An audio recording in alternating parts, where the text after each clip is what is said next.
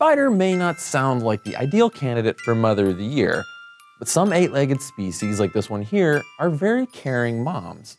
Except instead of lending one or eight helping hands to their newborns, they lend their whole body.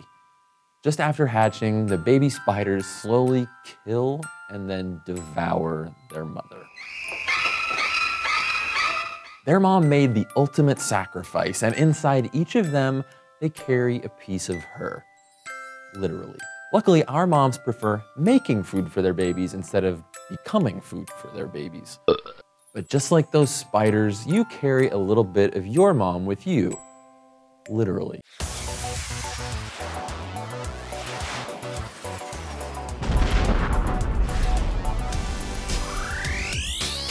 As we develop in the womb, we're hardwired to our moms. Like most mammals, we're nourished and cleansed thanks to that organ we call the placenta. But oxygen, nutrients, and waste aren't the only things that pass back and forth. Every once in a while, one of the mother's blood cells will sneak its way through the placental barrier and take up residence in the bloodstream of the fetus. By the time that baby starts walking, its brand new immune system has eliminated most of those, but a few of mom's cells can stick around for a really long time, like 50 years. That means right now, your mother is right there with you. A small part of her, anyway. When cells from more than one individual intermingle and cohabitate in a single body, it's called microchimerism. Even more cells pass across the placenta in the other direction, from fetus to mom. By the end of pregnancy, up to 6% of the DNA in a mother's bloodstream belongs to her child. Some of your cells persist for the long haul, and right now, tiny colonies of you may exist in her body. They say children are never far from a mother's mind. Scientists have detected male cells in women's brains.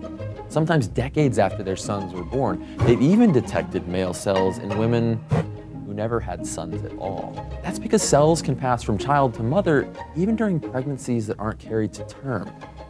That means even in women who've experienced that most heartbreaking of losses, a little bit of the child they never knew lives on. Your cells can also do your mom a lot of good. Stem cells that smuggle across the placental barrier have been shown to help heal C-section scars, repair damaged heart tissue, even fight cancer. So others, no matter where your child is, and children, no matter how near or far you might be from mom, they're right there with you. Stay curious. And call your mother already. He's really worried about you. Summer vacation. I hope you sent the card. Episode of your favorite show. Maybe some flowers. news. How about the death of Send her this video. Not your thought. Subscribe. Scene of The Sopranos. Mom wants he's wanted sitting in a to. I asked her. Eating onion rings. Journey.